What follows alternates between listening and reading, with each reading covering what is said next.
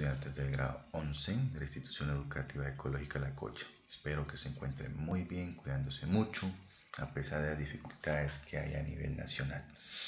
Bueno, continuamos con la con la envío de guías. Esta es la guía correspondiente de mayo 3 a mayo 14 del 2021 y seguimos trabajando la prueba saber a través de la guía.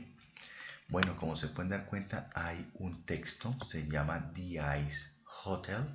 ¿sí? Es un texto casi de un casi mitad de hoja, oficio. Y es normalmente lo que se presenta en los dos últimos textos en la prueba IFES normal que se nos viene, si Dios quiere, en agosto.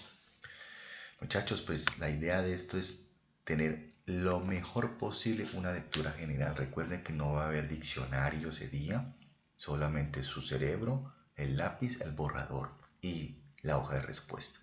Entonces la idea de esto es desarrollar una lectura comprensiva, leer el texto de una manera general. Normalmente tiene que demorarse para desarrollar este texto 3 minutos 20 segundos.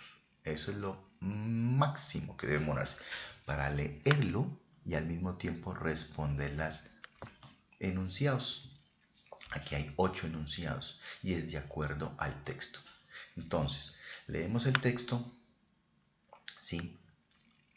Y después, de acuerdo al texto, completamos, colocamos con una X, ya sea en T, que significa en inglés true, verdadero, o en F, que sería false, falso, o en NG. NG aquí en inglés es not given, o sea, información que no referencia o no es dada en el texto, no es lo que usted opine, es de acuerdo al texto.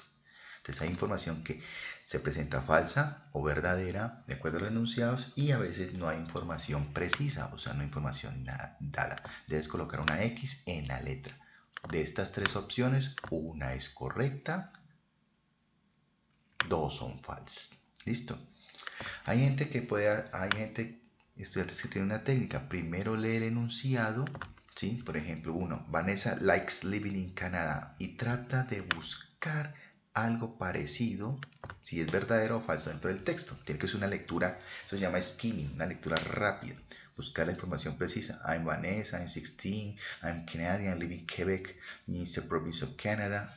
Y vamos leyendo mentalmente, que es más rápido y se da cuenta que se dice, so I like living here. Aquí dice, por lo tanto, me gusta vivir aquí. En donde está hablando que es canadiense, que está en Quebec, que vive ubicado en Canadá. ¿sí? Entonces, particularmente, personalmente, la respuesta aquí es verdadera. True. ¿Listo? Pero, para empezar ustedes, una prueba, mejor lean. Dos, Aquí en la parte B dice, si usted realiza la traducción del texto, ¿sí? The Ice Hotel al español, lo escribe aquí, por favor. Estas líneas son para escribir, para eso se gasta esta hojita. Hace la línea, eh, de la traducción al español con lápiz, ¿sí? Y obviamente a esto se le da un punto de incentivo como extra a su valoración, ¿sí? Esto es optativo. ¿Qué es optativo? Si le da la voluntad, lo realiza la traducción en estas líneas. Si no quiere, pues no lo realiza y solamente me envía las respuestas. Pero vuelvo y le repito, esto le aumenta un punto. Es decir, si aquí le fue, digamos, regular, sacó 2, acá con este punto serían 3. ¿Listo? Entonces muchachos, espero que hayan entendido el trabajo de esta guía. Hágalo conscientemente y prepárese mentalmente que a pesar de que estemos trabajando en casa, estamos preparándonos para una prueba que lo espera en agosto y le da a definir su futuro. ¿Va a seguir estudios superiores o seguir en una carrera técnica? Muchas gracias.